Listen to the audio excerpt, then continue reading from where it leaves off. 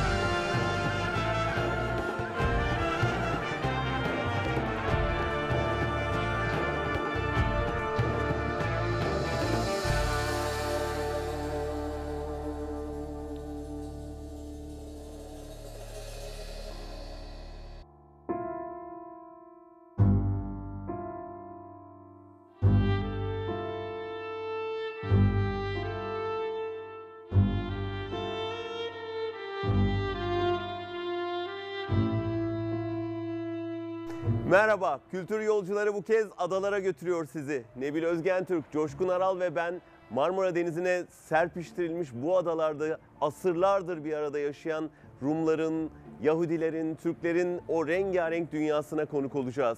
Sait Faik ki adaların dilini en iyi bilen yazarımız, onun bir zamanlar yaşadığı şimdi müze olan evini gezeceğiz. Ve Sait Faik'i notalara dökmüş büyük bir bestecinin Fazıl Say'ın Burgazada'daki yazlık evine konuk olacağız. Neden adalarda hayat eskisi kadar renkli değil? Neden insanlar terk ediyor adaları? Buna cevap arayacağız hep birlikte. Burgazada'dan başlıyoruz. Hadi gidelim.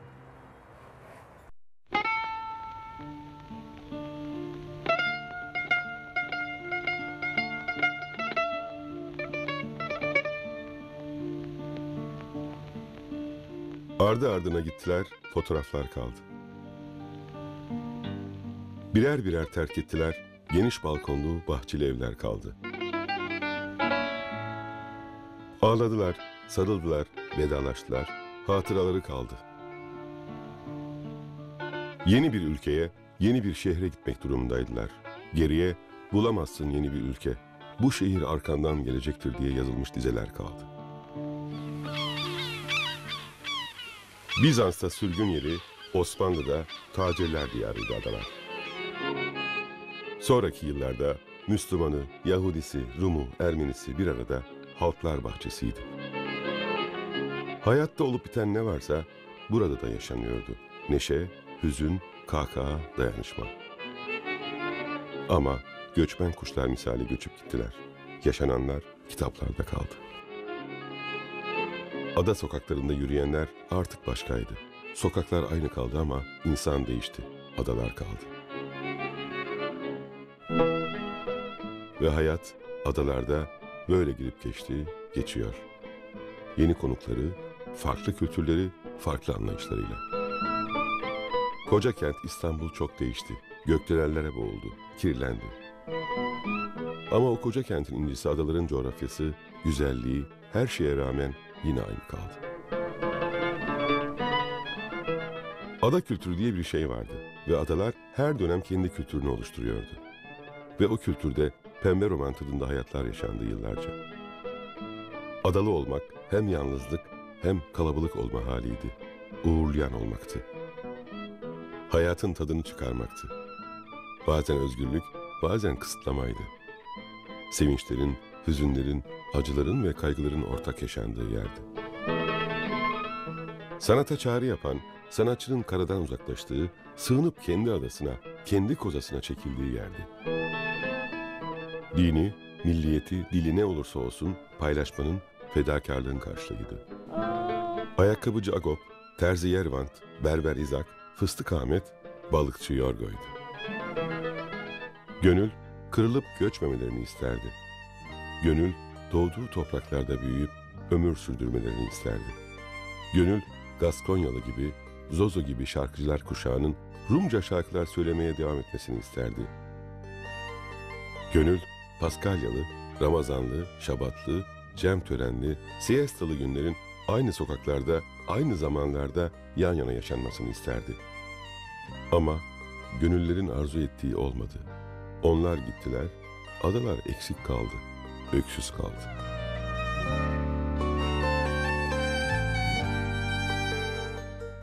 İsrail devleti kurulunca Tel Aviv'e göç eden 500'e yakın İstanbullu adalı Yahudinin yanı sıra yıllar içinde en çok da İstanbullu Rumlar göç verecekti adalarda. 1940'lardan 60'lara kadar adalardaki Rum nüfusu 12 bindi. Yıllar içinde 60 kişi kalacaktı.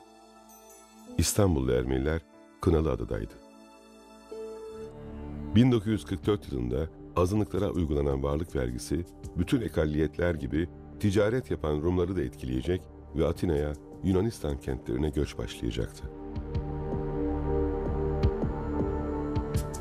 1950'lerden itibaren Kıbrıs temel mesele olacak ve Türkiye ile Yunanistan arasında yaşanan her kriz İstanbul ve adalarda kendine hayat kurmuş Rumlara yansıyacak. Ve yalnız Türklere değil, Rumlara da barış getirmek için adaya gidiyoruz. olan eriyip kaybolmaya yüz tutan bir kültüre bir kardeşlik atlasına olmuştu. 1955'in 6-7 Eylül'ünde 1964'teki Yunan pasaportlu Rumların zorunlu sürgününde 74'te Kıbrıs çıkarmasının ardından yaşanan korkularda ve sonraki yıllarda Atina'ya, Selanik'e ve Yunan adalarına göç ettiler. Ama hayat işte kendi dillerinin konuşulduğu o kentlere vardıklarında mutlu olamayacaklardı. Kökten milliyetçiliğin cenderesi altında Türk tohumu diye aşağılanacaklar, komşu ve arkadaş hasreti çekerek doğup büyüdükleri adalarını arayacaklardı. Zaman içinde tabii ki alışacaklardı. Acı anıları her kesimden, her toplumdan kafatasçının baskısını sineye çekerek.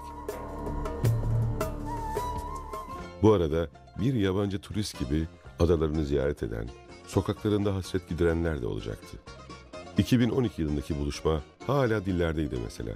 İnternet ortamında yazışmışlar, Selanik'ten, Atina'dan yola çıkıp adada buluşmuşlar ve üç gün üç gece eski komşularıyla, doğup büyüdükleri evlerin yeni sahipleriyle şenlik yapmışlardı Burgazada'da. İşte anahtarı.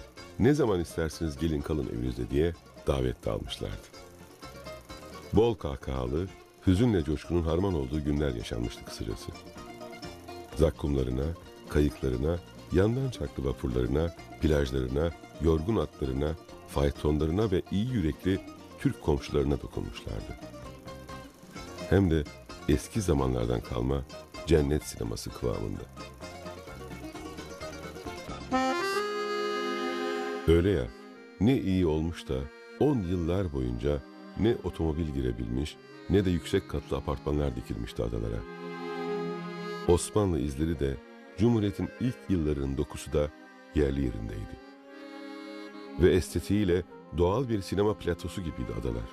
Bu yüzden de Türk sinema tarihi boyunca pek çok film adalarda çekildi. Türk-Yunan ortak yapımı filmler üretildi ardı ardına. Pek çok Yeşilçam filmine adalarda motor dendi.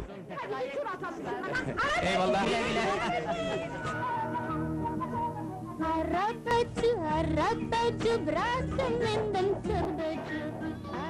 Sinemamızın ilk harcında büyük emeği olan Rum kameraman, Rum işletmeci, oyuncu ve yönetmenler de 1950'lerde pek çok film çekecekti adalarda. Kalanları ise acı bir sürpriz bekleyecekti. Ötekileştirme. Bu arada afişlerde gerçek isimlerini de kullanamayacaklardı. Ve 2014'te adalarda çekilen, adalarda geçen sürgün filmi bütün bu yaşananları anlatacaktı. Ada güzelliğini, kararmasını, 64'teki zorunlu sürgünü ve o sürgün nedeniyle yarım kalan aşkları, doğduğu topraklarda gömülemeyen insanları ve sonsuz barış ve kardeşlik hayalini. Aynı yıldızlara aynı göğe bakanların ahenk içinde bir arada yaşaması gerektiğini. Demek kilisede evleneceksiniz. Benim sizin inancınıza saygım büyük. Allah aşkına söyle bunun neresi münasip? Öyle ya, en iyi adalı bilirdi ta çocukluğundan beri. Gözyaşının ve kahkahaların farklı tanrısı olmayacağını.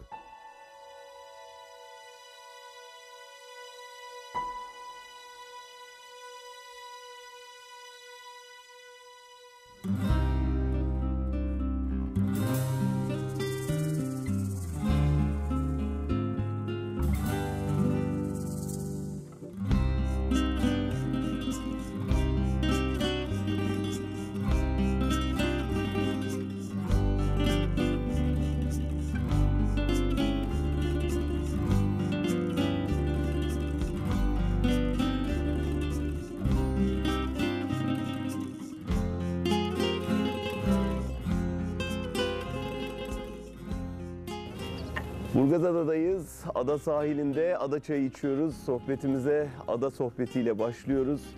Aslında Prens Adaları diyorlar buraya. Prens Adaları deyince çok, kulağa çok hoş geliyor. İnsan da herhalde prenslerin burada keyif sürdüğü adalar zannediyor ama işin aslı hiç öyle değil. Aslında burası prenslerin sürgün yeri. Daha doğrusu insanlık tarihinin hep sürgün yeri ola gelmiş. Adalar çok acılara tanıklık etmişler ve hala aslında o acılara tanıklık etmeye devam ediyorlar. İstersen ne bil öyle açalım sohbeti. Öyle açalım evet. Yazarlar, çizerler geçmiş tarihte. Mesela Hüseyin Rahmi şey, Gürpınar galiba Büyükada'da. İşte Reşat Nuri Güntekin. e, biraz sonra konuşacağız Sait Faikler. e, ve yine konuşacağız Fazıl da buraya sığınmış durumda. Böyle yazarların, çizerlerin buraya sığınma olarak e, seçme mekanı düşünüyoruz değil mi adaları? Yani buralara geliyorlar ve buradan bestelerle çıkıyorlar. Romanlarla, öykülerle çıkıyorlar. Şimdi ben de aslında gazetede köşeye yazmaya başladığımda ne isim koyalım dediler. Ee, ada ismi koyalım dedim. Onun nedeni şu. Ee, Anakara'dan bağımsız bir ada ütopyası aslında insanlık tarihince var olmuş. Aslında bütün ütopya kitapları hep adada geçiyor. Bu tesadüf değil çünkü Anakara'dan alternatif bir dünya yaratmaya çalışıyorsun adada ve o e, bir yerde insanlığın olmak istediği şey, yaşamak istediği yer anlamında ada. Sanatçı da tabii hep muhalif kimliği olduğu için ana kara aslında onun muhalif olduğu düzeni simgeliyor. Ada da bir yerde e, ona alternatif bir dünya özlemini simgeliyor. Evet çok kültürlü yapı da galiba sanatçıyı tetikliyor. Çünkü e, yakın zamanda tabii ki biraz e, deforme oldu bu çok kültürlük ama hani hep okuruz ya bu İstanbul'a yakın adalar için, Prens adaları için Çok yani. önemli. Olağanüstü böyle şey Yorgi ile Bedros'un, Hrant'la Ahmet'in yan yana bir dünya kurduğu yıllar yaşanmış burada. Sonra onu tabii ki e, yıkıp geçmişler. O da insana çok mutluluk vermiş belli ki. Ben e, burada 50 yıldır yaşayan arkadaşlarım var adalarda. Yani gözleri yaşlı anlatırlar değil mi eski hikayeleri böyle. Ah ah ah gittiler falan diye. Bence o beslenme de sanatçıyı tetikliyor. Doğru. Karşılıklı böyle kültüre alışverişi e, olağanüstü bir e, şey Ama çıkarıyor. her zaman öyle mi? Renk çıkarıyor. Her zaman öyle mi? Yani zaman zaman direnişlere konu oluyor adalar da. Zaman zaman da işbirlikçiler gündeme getirebiliyor bazı şeyleri. Fakat mesela Burgazada için e, şöyle baktım dört kilise varmış burada. iki manastır var. Bir havra var, bir cami var, bir cemevi var. Cemevini doğrusu hepimiz için herhalde sürpriz. Cemevi yani burada ya bütün bu dinlerin bir arada küçücük bir adada buluşması fikri bile ne bileyim dediği gibi hakikaten bir sanatçı için çok kültürlüğün, çok renkliliğin aslında burada nasıl var olduğunu, bir arada yaşama kültürünün ne kadar geliştiğini gösteren bir şey. Tabii hep öyle miydi der dedin ya Coşkun demin yani tabii ki acılardan bahsetmeden adalardan bahsetmek çok zor. Ee, 10 yılda bir değil mi? Yani şu Cumhuriyet tarihine baktığımızda aslında 10 yılda bir evet. resmen hani Türkiye'nin darbeler tarihi gibi adaların göç tarihi var neredeyse.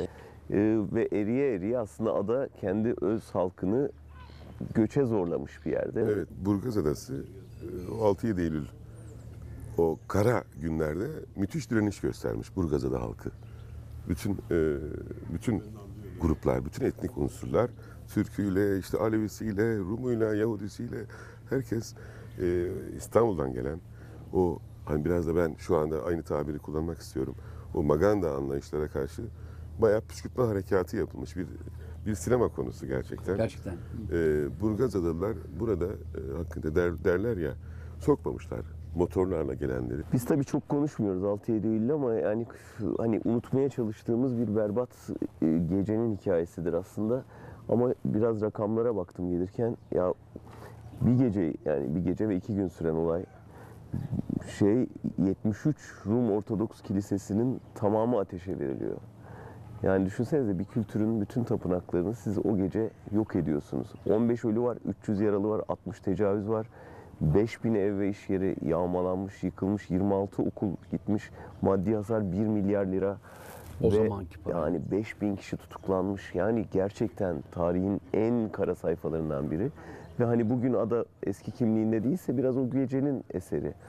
Ve hani o gece neler yaşandığı üzerine de pek çok tevatür var. İşte hani kim ateşledi, hala özel harp dairesi mi çıkardı, bu bir provokasyon muydu, halkın kendiliğinden geliştirdiği bir şey miydi ama şu var ki belli ki hepimiz için bugün özür dilememiz gereken, utanmamız gereken, nasıl telafi ederiz diye düşünmemiz gereken bir olay. Kilisede e, bunu okuyunca gözümden yaş geldi. E, işte birkaç kişi kalmış. E, Yunanca konuşan Rum dostlarımız diyelim ben hep severim Rum dostlarımız. Biri öldüğünde bugünlerde yani imam geliyor cenazeye biliyor musunuz? Bu çok özel bir cümledir yani Adayı da tarif eden bir şey. tarif eden hazin bir cümledir.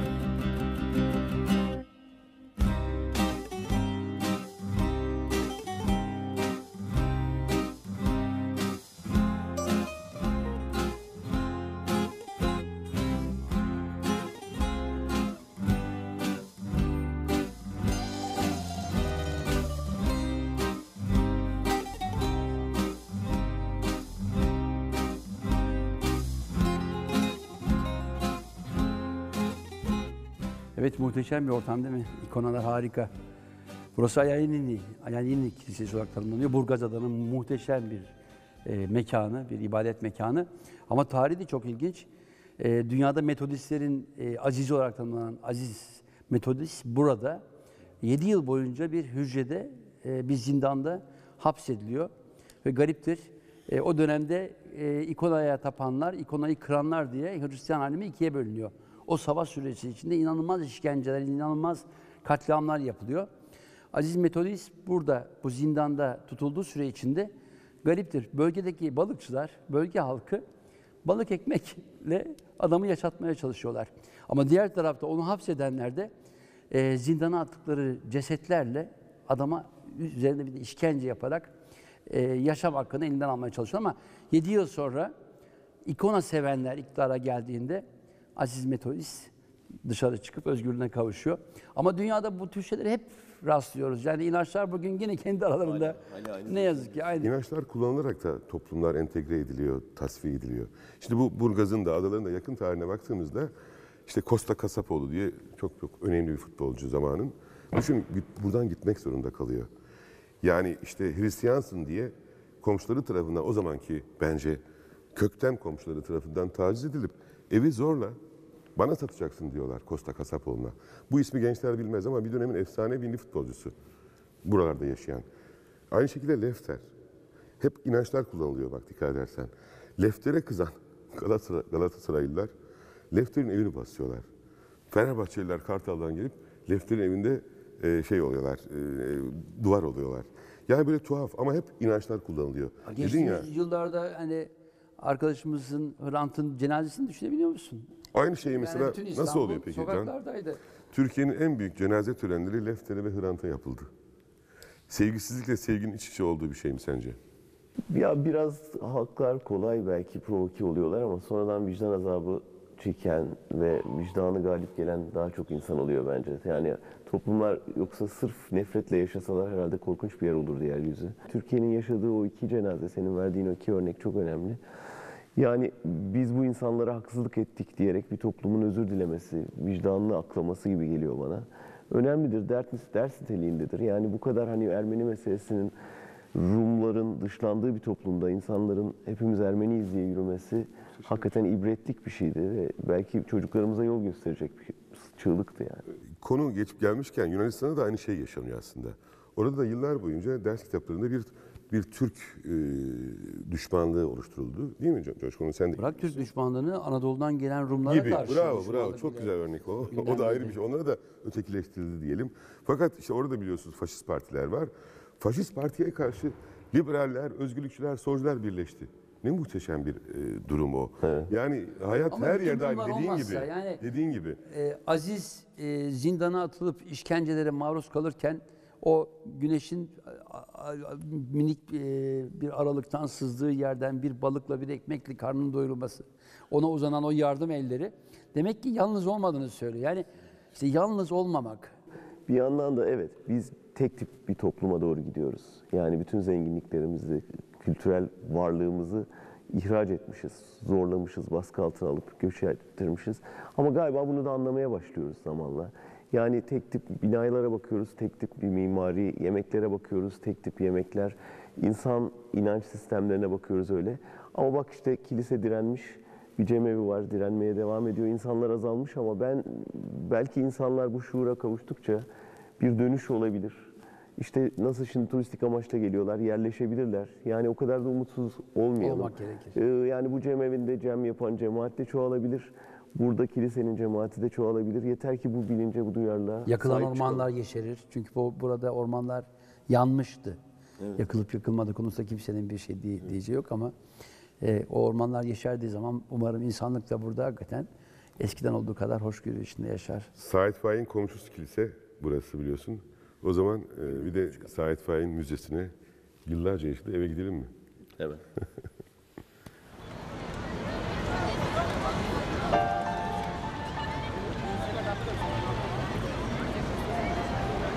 Bu koca şehir ne kadar birbirine yabancı insanlarla dolu der Said Faik lüzumsuz adamda.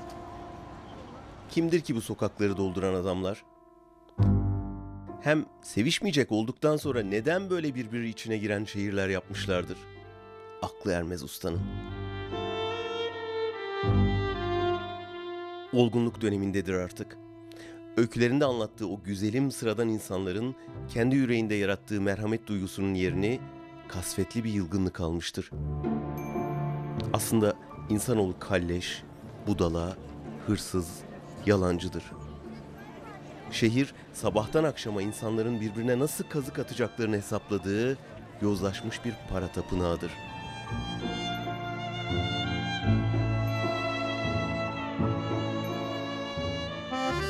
Çare doğada, adadadır. Bütün ütopyalar gibi Said Faik'in hayalini kurduğu ülkede bir adadır. Orada doğa bakir, insanlar yalın ve yalansızdır. Balıkçı teknelerinde, yıkık dökük evlerde yoksul yaşarlar. Kimin Türk, kimin Rum ya da Ermeni olduğunu umursamazlar. Para için dostluklarını satmazlar bir topal martının yasını tutarlar. Ana karanın alternatifidir ada. Araya giren denizin kuşatması ve koruması altındadır. Kirlenmiş şehre inat, tertemiz ve aydınlıktır.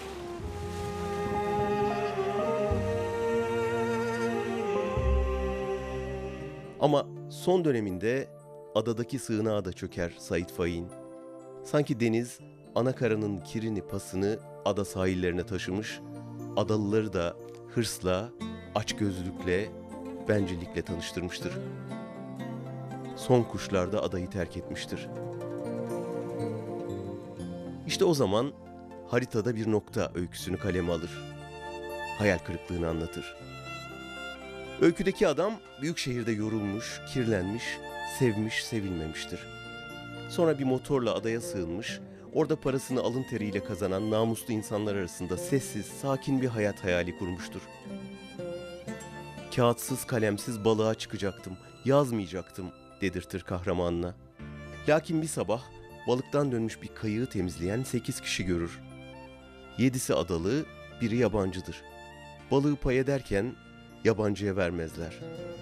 O elini uzatacak olduğunda da dur bakalım dağdan gelip bağdakini kovmayalım derler. Çevredekiler itiraz edecek gibi olunca da yabancı zarar yok vermesinler istemez der ve boynunu büküp vapura doğru yürür. Şöyle yazar Said Faik. Söz vermiştim kendime. Yazmayacaktım. Yazı yazmak da bir hırstan başka neydi? Burada namuslu insanlar arasında sakin ölümü bekleyecektim. Yapamadım. Koştum tütüncüye, kağıt kalem aldım, kalemi yonttum, yonttuktan sonra tuttum, öptüm. Yazmasam deli olacaktım. Said Faik'in Ütopya Adası da teslim alınmıştı. Bu öyküyü yazdıktan iki yıl sonra öldü.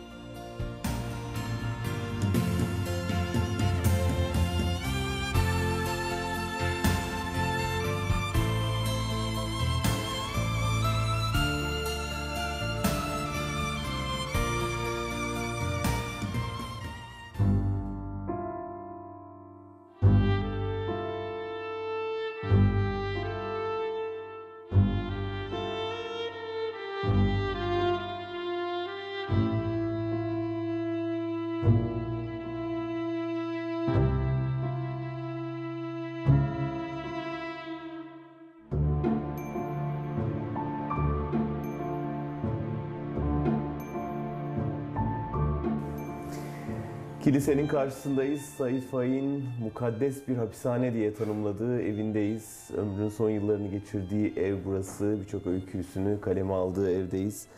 Ee, gerçekten yatak odası, kütüphanesi, çalışma odasıyla onu hissedebildiğimiz bir yer. Ama bütün bunlar içinde beni en çok etkileyen şeyi sizinle paylaşmak istiyorum. Ee, Türkiye'de yazarlığın ne menen bir şey olduğunu belki daha iyi anlatan bir şey. Ee, çok hassas davranarak almaya çalışacağım. Pasaportu Sait Faik'in. Ee, pasaport almaya gitmiş. Aslında tedavi için ölmeden bir yıl önce yurt dışına gidecek. Pasaport şubesine gidiyor. Pasaport şubesinde ne iş yaparsın diye soruyorlar. Muharririm diyor. Kanıtlayabilir misin diyorlar. İşte yazılarını getirmiş yanında onları gösteriyor. Yine de muharrirliği meslekten saymıyorlar ve burada adı Mehmet Saik Abası Yanık, sanatı yok.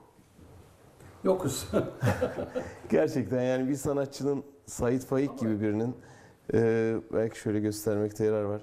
Sanatı yok sayılması çok ibretlik bir şey Türkiye özgü. Ne yazık ki hala Türkiye'de yazarlar yok sayılıyor. Kesinlikle. Bu arada ele aldıkları konulara baktığınız zaman dünyadaki büyük edebiyatçıların hep bir deniz öyküsü, balıkçı öyküsü vardır. Örneğin Hemingway'in ihtiyar balıkçısı var. Nazım'ın çevre felaketine uğramış, tutanın öldüğü balıkçı Evet. hikayesi. E, Said Faik'in de çok güzel bir hikayesi olduğunu biliyorum. E, özellikle bu bölgede ıstakoz avcılığıyla geçinen bir balıkçı varmış. Ama hayatı boyunca o avladığı balık ıstakozlarla yememiş. Çünkü ıstakoz parasına kıyamıyormuş açıkçası. O, o parayla gidip kıyma alıp evine doyurmayı düşünüyormuş. Adamcağız bir gün balık tutarken ağlarına dolanmış ve ölmüş. Said Faik'in ona ilişkin çok güzel bir şey var. Keşke diyor kefeni diyor ağları olsaydı toprağa gömülürken. Çok İnanılmaz bir şey yani. İşte evet ya bu metaforu yapan adam. Bak dikkatimi çekti Can sen böyle gösterirken pasaport hikayesini kırmızı pasaport. evet. Yani metaforik olarak tabii kapağı kırmızı. Valla pasaportlarla ilgili anlar çok. Şaka bir yana e, çok da güzel. İstediği kadar bu yazar demesinler. Ama bak şu anlattığın öyküde de muhteşem bir şey var. Dünya öyküsü var. Zaten diyor ki e, edebi eserler insanları mesut ve bahtiyar dünyalara götürmeye yardımcı olmuyorsa neye yarar ki diyor. Evet. Sait Faik. O yüzden istediği kadar yazar demesin onlara. Hayat şu anda bizi bir Sait Faik Müzesi'nde buluşturuyor ve hakikaten biz onu anmış oluyoruz. Ve güzel sayede. dünyalara götürüyor. E, bur- e, buradan da Her şeye rağmen mutluluğun var olduğu bir adadayız ya. Şey Ya buradan da bize işte fazla say bir Sait Faik müziği yapıyor. İşte Evet. Biraz sonra zaten fazla gideceğiz. Gerçekten e, sen hep yaşayacaksın Sait Faik. Aynı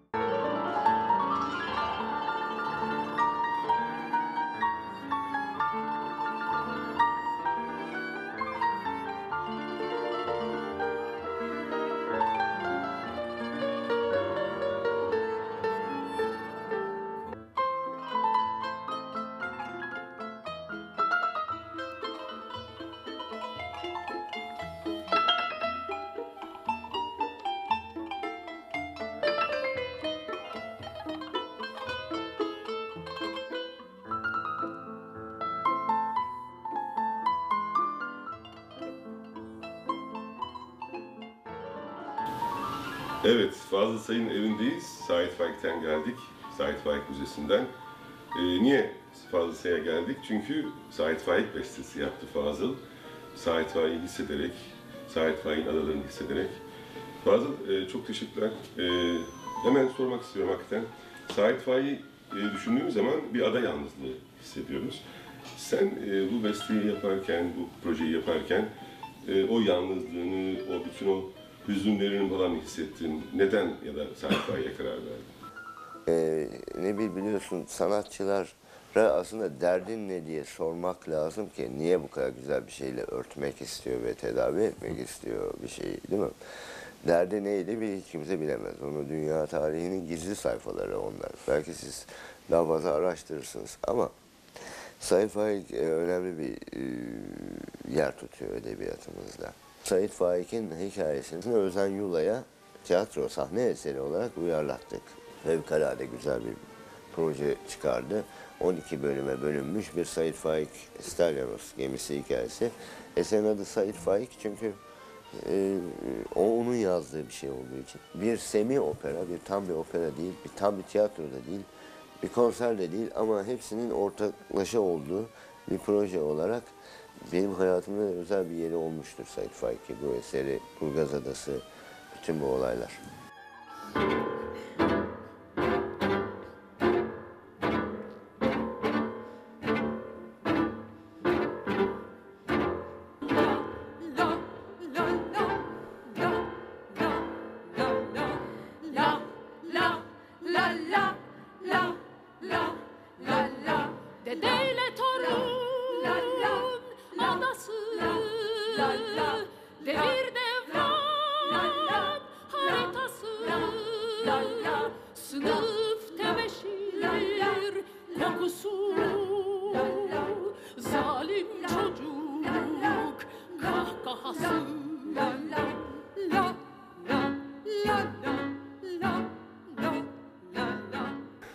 Sait Faik'in bu eserini seslendirirken bütün bu adaların tarihini ve hikayelerini hissederek mi buna karar verdin bu, bu Evet, esere?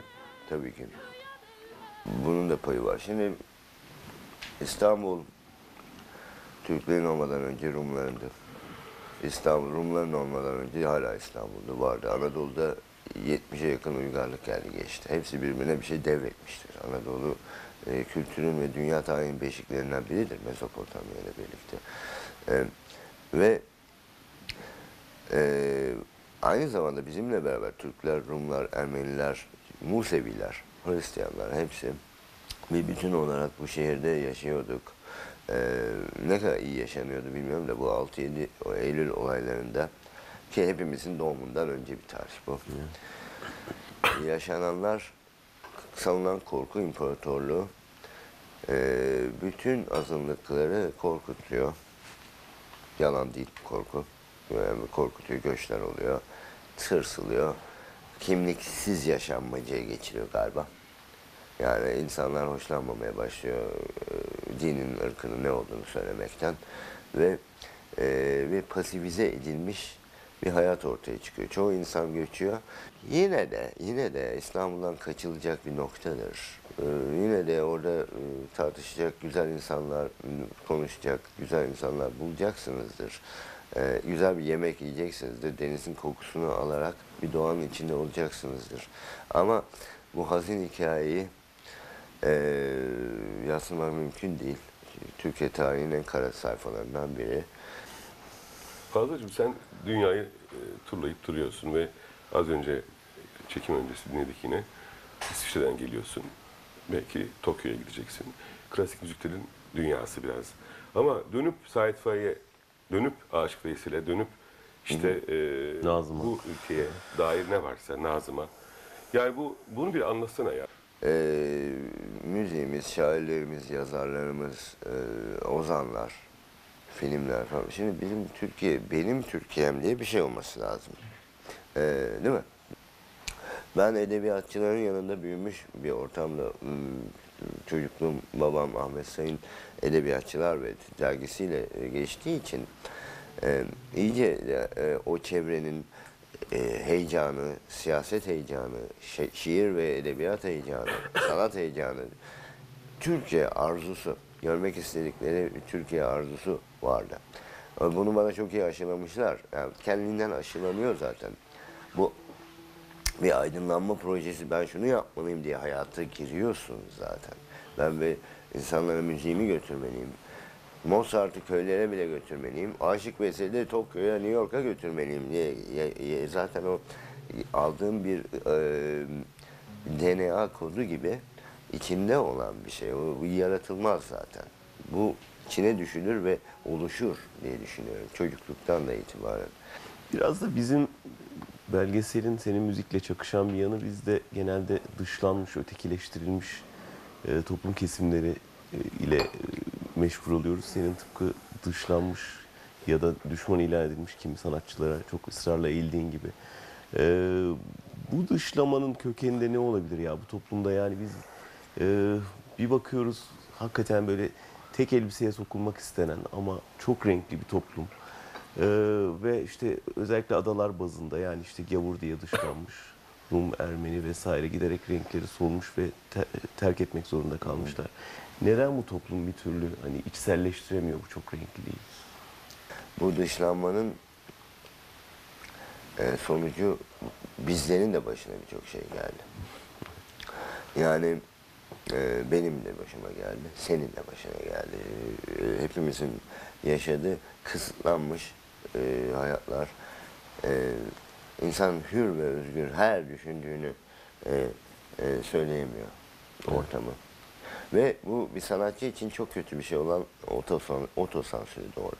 Evet. Ondan sonra kendi kendini sansürleyeceğim. Bana bir şey olmasın.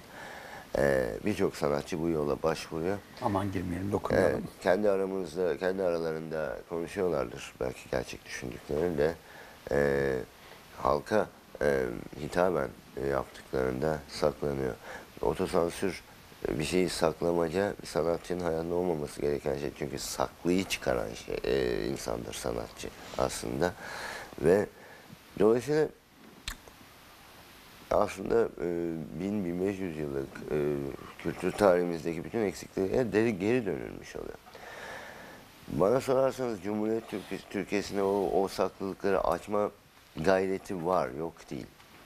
Ama çok yanlış ellere düşülmüştür ama haksızlıklar yaşanmıştır. Nazım Hikmet'in 15 yıl hapise yatması Türkiye Cumhuriyeti'nin kurulduğu dönemlerde oluyor. Yani bütün bunlar çok tezatlı, çok e, e, düşünülmesi gereken bin tane e, şey var.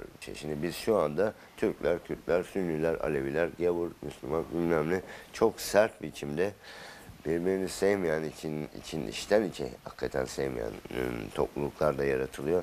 Ve gittikçe gittikçe daha da uzaklaştırıyor hızlı dalgalarla diye düşünüyorum.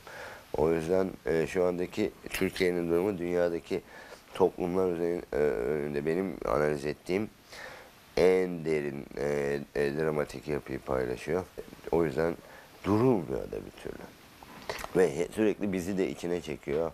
Piyano çalan insanı, belgesel çe- çeken insanı, kitap yazan, şiir Karikatür yazan, fo- karikatür yapan, fotoğraf çeken insanı zorunlu olarak her gün birkaç kere içine çekmek durumunda kalıyor. Sorumluluk hissettiriyor, başına dert açtırıyor.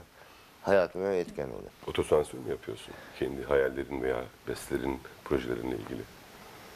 Otosansür yapmıyorum. Yani- Çok şükür ki yapmıyorum yani. Ama yani şöyle söyleyeyim. Bir İstanbul Senfonisi sadece enstrümantal bir eserdir. Orkestra önünde ney var, kanun var değil mi? Sözleri bile yok. O bile o bizim Türkiye'de programlardan kaldırılıyor. Bir açıklaması yok. Bu sadece kişiye saldırı artık. Bir isme saldırı. E, böyle olunca da e biz de bir cevap vermek zorunda bırakılıyoruz. Çünkü senin eserin artık sansürlenmiş. Artık sansürlenmiş sanatçısın. Buna cevabım mı yok? İyi mi oldu diyeceğiz. Peki Yani korkuyor ne, musun? yapayım? ne yapabilirim? yani? Peki korkuyor musun? Gerçek anlamda korkmuyorum. Yani kültürlerin çatışması çok insan hayatında çok zor bir konudur. Ama insanın insanın kendisiyle olan savaşı kadar zor bir konu değildir. Asıl korkuları orada yenebilen bir sanatçı, orada yenebilen bir insan bence bu kültürler savaşından da sağ çıkar. Çünkü bu daha kolay bir savaş. Sen o e, hani meşhur e, Fazıl Say yollarda projen çok güzeldi gerçekten 10 yıl önce falan. Orada e, o sade insanlar yani e, Sivas'a da gittin, Antep'e de gittin. Onlar e, klasik müzik icra ettin orada. Onlar e, nasıl karşıladılar fazla? Yani toplumu nasıl gözledin orada? Ben eee, bir kere sözlü, Türkçe sözlü olan bir müziğin eee Türklere yabancı olduğunu hiç düşünmüyorum. Türkçe eee, sözlü olmayan ama içinde Türk motifleri olan bir müziğin de yabancı olduğunu düşünmüyorum. Ha, eee, piyano bizim aletimiz değil, bizim kültürümüz değil. Bu çok faşizan bir yaklaşım ya. Piyano müzik evrensel bir şeydir. Eee, Mozart evrensel bir şeydir. Mozart insanlar için bir şey yapıyor. Ya Türkler insan değil mi? Hayvan mı yani Türkler? Yani tabii ki bu Türklerin içinde yapılmış ve tabii ki Türk de anlıyor. Bu, bu önyargıyı sadece kır. Mozart'ın ne yazdığını anlamak için e, e, belki bir ara bulucu lazım. Biraz anlatan öncesinden biraz ve Mozart burada şunu anlatıyor arkadaş diyen birisi lazım belki arada bir. Bu kadar basit. Buna bizim kültürümüz değil çok çok aykırı bir yaklaşım öyle bir şey olamaz diye düşünüyorum yani. Ben kendi son sorumu sorayım. Şimdi Ahmet Say bir hoşgörüsüzlük Türkiye'sinde yetişti ve onunla birlikte bir sürü şairler işte Sivas örneğini yaşadılar. Sonra sen o bayrağı devraldın. Şimdi bir hoşgörüsüzlük rüzgarı senin üstünde Çok daha estirdi. serti. Çok daha serti. Y- Bakıyoruz o rüzgar dünyaya yansıdı ve işte Paris'te müthiş bir katliama yol açtı falan. Yani bu sanatçılar üzerindeki hoşgörüsüzlük şeyi e, kızını ve bu sonraki e, şeyi kuşağı düşündüğünde e, karamsar mısın yoksa yani insanlık bunun üstesinden gelebilir diye düşünüyor musun?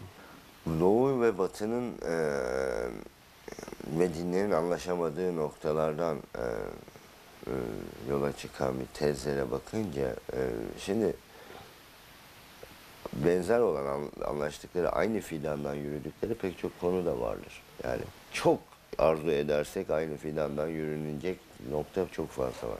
Fidanların ayrıldığı, dallara bölündüğü ve asla anlaşamayacağı konular da var. Oralarda eee mesele birbirini anlayıp dost kalabilmek mi, frekansı bulabilmek ve eee, ya da savaşmak olur. Ben eee, ben ben barıştan yana olunacağını ümit ediyorum.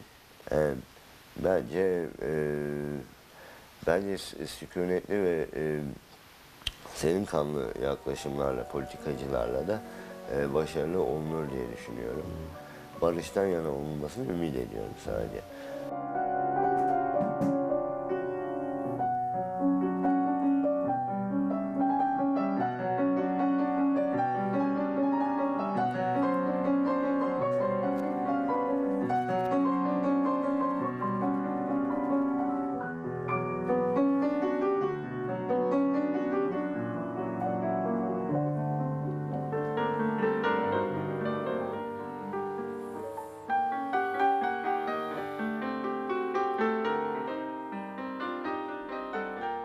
Evet, bir yolculuğumuzun daha sonuna geldik.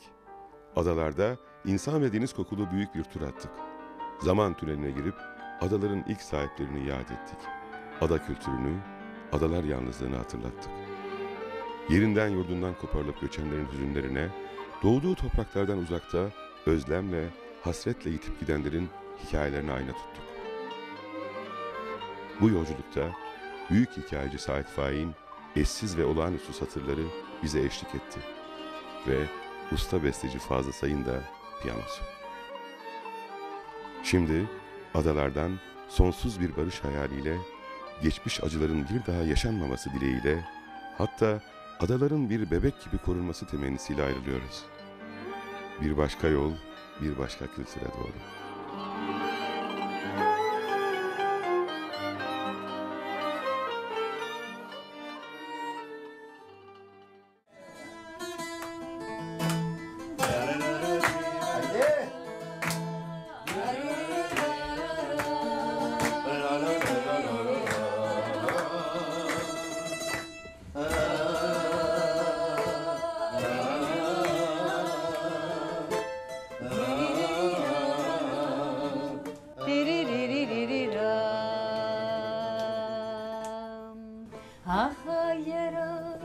Αχαγέρα πανεμίζεις του πελάγου τον αφρό. Αχαγέρα που θροίζεις με του λίχνου μου το φως Φύσα μέσα στην καρδιά μου, σκόρπισε μου το καημό Φύσα μέσα στην καρδιά μου, σκόρπισε μου το καημό Evet. Yabancısın buralara, nerelerden geliyorsun? Otur dinlen başucuma, belli ki çok yorulmuşsun. Bana esmeyi anlat, bana sevmeyi anlat. Bana